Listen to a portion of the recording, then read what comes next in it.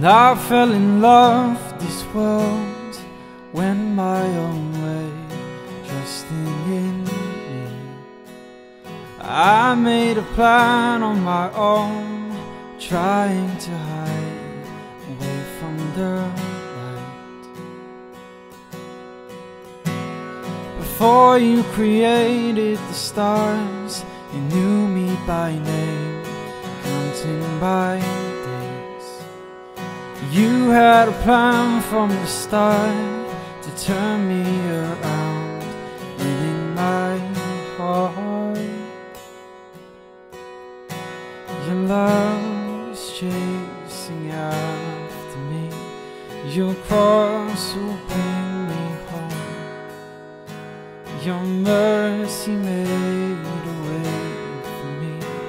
Your cross will bring me. You died for me, giving me everything.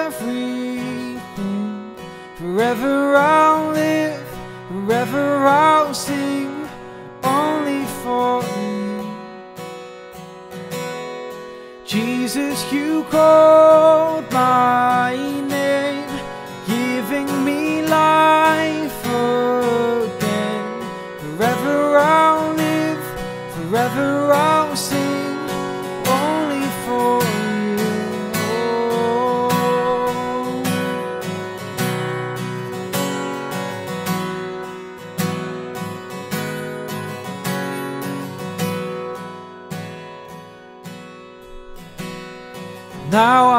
child of the King, righteous restored, risen in Him. Chosen to stand in His grace, chains all undone,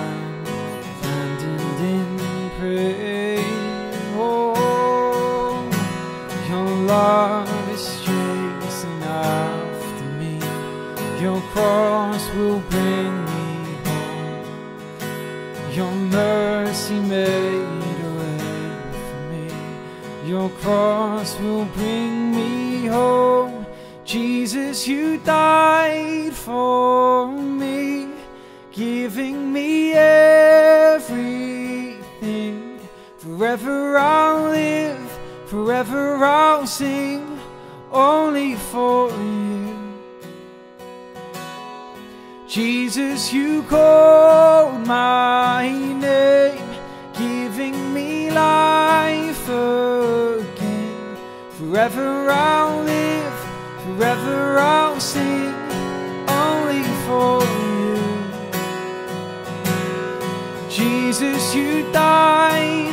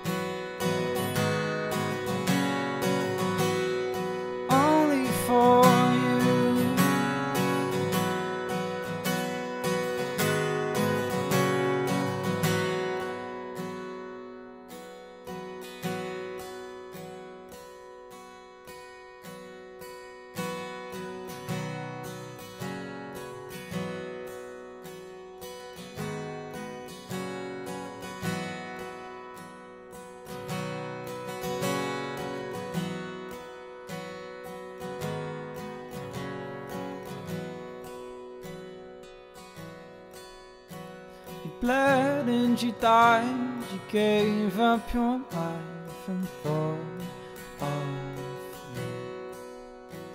With love in your eyes, you gave up your life to free.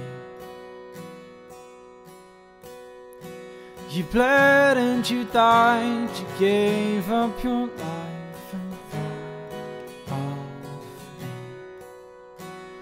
love in your eyes. You gave up your life to set me free. Jesus, you died for me, giving me everything. Forever I'll live, forever I'll sing, only for you. Jesus, you called my name, giving me life again. Forever I'll live Forever I'll sing only for you. Only for you.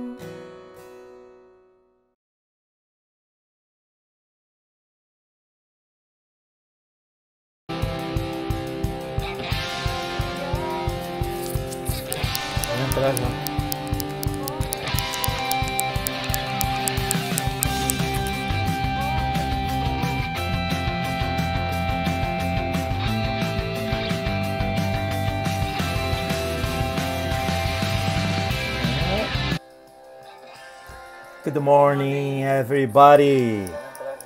Welcome to our uh, daily devotional. Uh, myself and my wife Albetiza, we are very happy to be hosting you. So it's amazing, another amazing day. It's a beautiful, sunshiny day. Thank you, Lord, for this amazing week you've been giving to us. So let's just uh, uh, uh, pray for what God will be speaking to us this morning. We have a, a Stevie Richardson sharing the word with us, and then Jackie Elmore will be sharing a um, amazing uh, uh, worship song as well. So you are very welcome. Good to have you here with us. Let's pray. Lord Jesus, thank you for this morning. Thank you for this amazing day, sunshiny day, opportunity for people to go out and, and doing some exercise and looking after their gardening and just just being outside enjoying uh, themselves. I just thank you, Lord. I pray, uh, asking you to speak to us through our brother Steve and also speak to us through the song Jack prepare for us. So we just surrender this morning to you and ask you to bless us. This is our prayer in Jesus' name. Amen.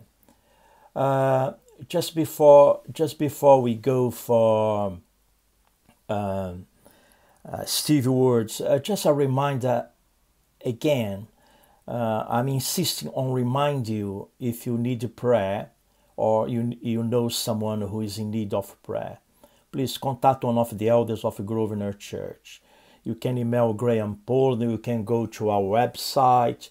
If it's about you, you can contact your small group leader. It's just a reminder, and uh, it is really important to be covering everyone in prayer. I think uh, prayer is the most powerful tool God gave to His church. Okay?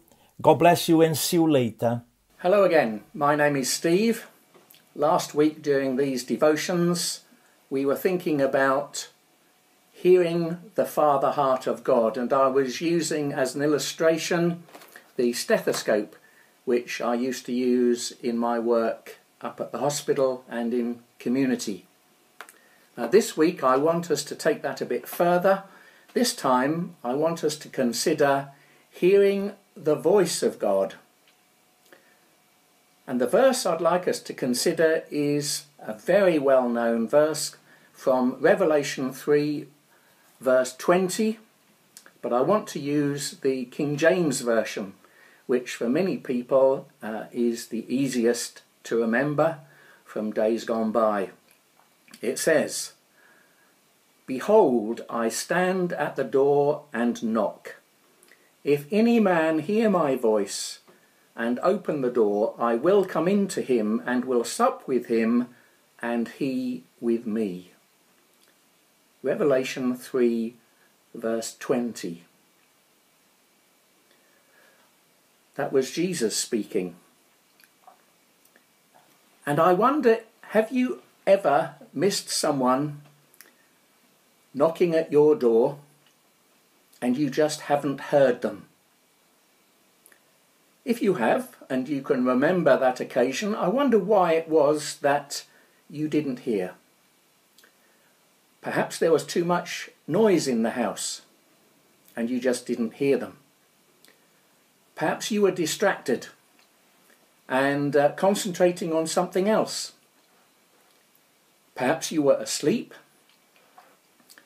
and perhaps, like me, you might be going a bit deaf. Why was it that you didn't hear the knock on the door? And how did your visitor eventually get your attention?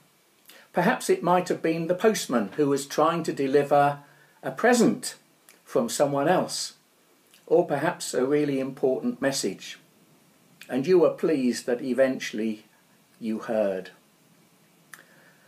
Romans 3 verse 20 comes in the middle of a really interesting section.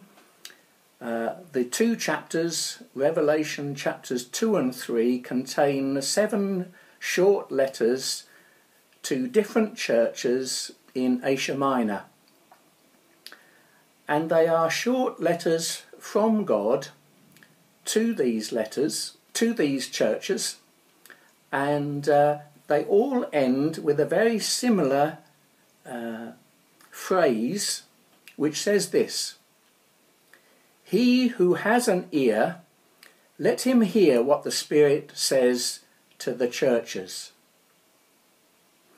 Those three letters give various commendations and warnings to the seven churches.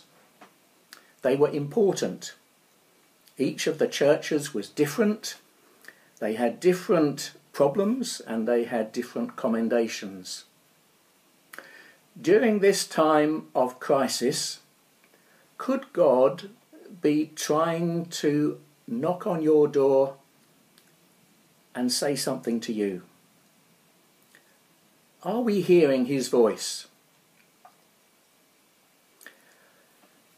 I used to be called by some Dr. Steve, and uh, I had a bag of uh, diagnostic medical equipment. Last week we looked at the stethoscope, and this week I'd like us to look at another diagnostic instrument that I used to have in my bag, and this is an otoscope. It's simply a torch, a light that enables the doctor to look at. Oh, the battery's gone. but it should allow us to look into the ears of, in my case, it used to be children, but in other doctors' and nurses' cases, it may be that they were looking at adults looking into the ear canal to get a view of the eardrum.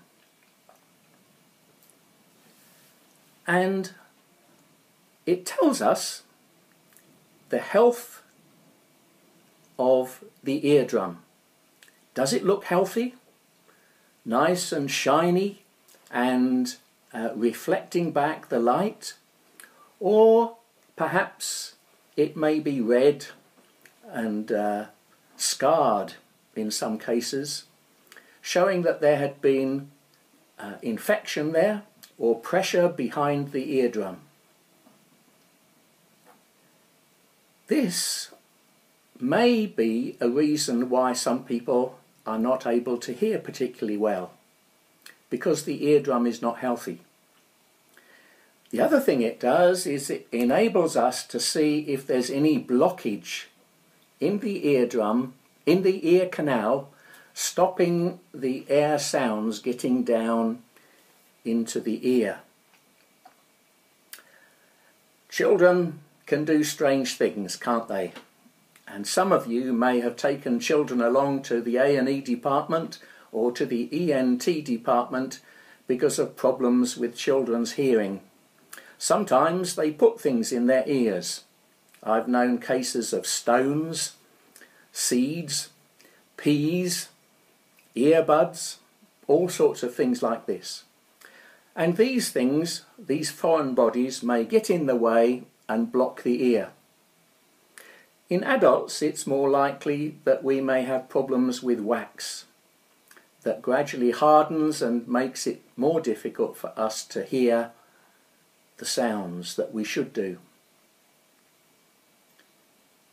This uh, diminishing of hearing can be a significant problem for many of us. The medical term for eardrum is tympanic membrane, and it uh, always reminds me of when I was uh, a teenager. I used to play in the school orchestra and I played the timpani or the kettle drums. Since then, I've changed to lots of different drums to play. I've got one of them here.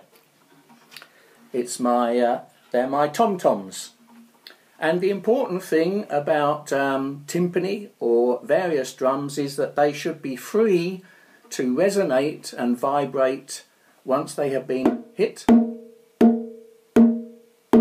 so that they make a clear sound. If the uh, drum itself is in some way impeded or uh, blocked, it doesn't make the same sound of same clear sound as it should do if it is free to vibrate. Our eardrums are very much the same. They need to be able to resonate, to vibrate and respond to the sound that's coming in. They need to be unimpeded, not damped down and not obstructed.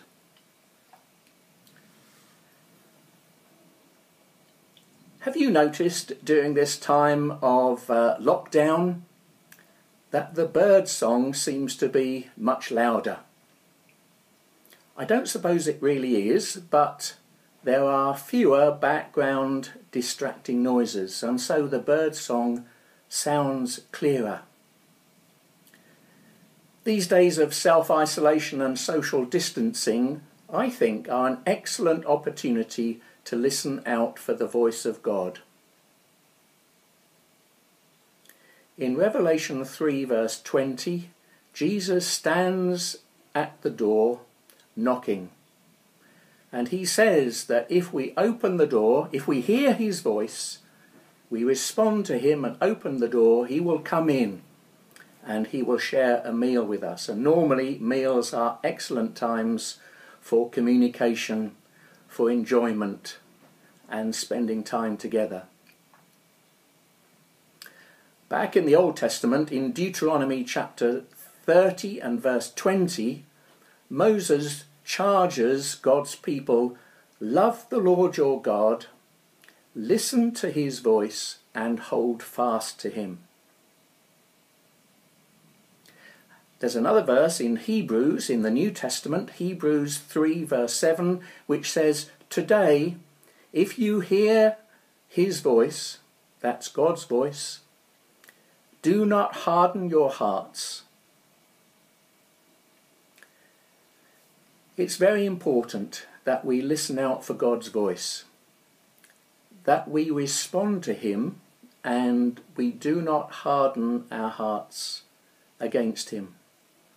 This is a very important time for us in this country and around the world. God can speak to us during this time. I pray that you hear his voice and respond to him. Let's pray. Father God, I ask that during this time of excellent opportunities for hearing your voice in so many different ways, you will grant us clear hearing, that we may hear what you are trying to say to us individually and collectively, that you will grant us the courage to respond, and we look forward, Father God, to seeing what changes there will be as we hear your voice and respond. In Jesus' name, Amen.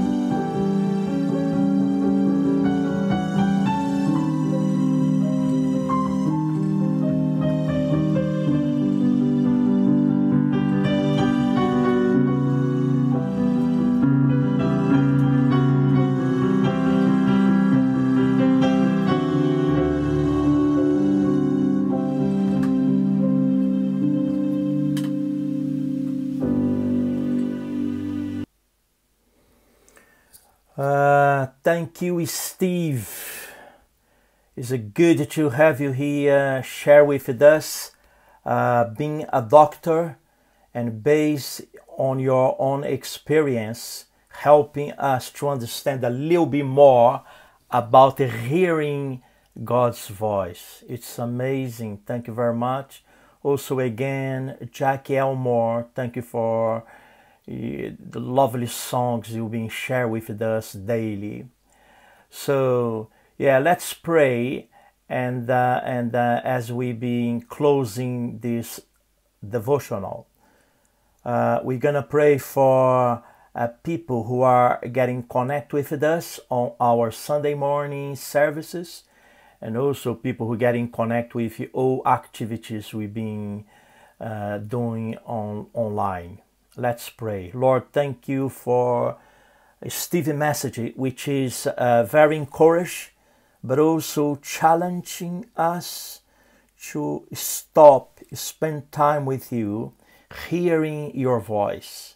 Lord, I pray, ask you to speak to us, speak to our hearts also, I pray for you to speak to people who have been connected with us, people who are hungry, thirsty from, for you.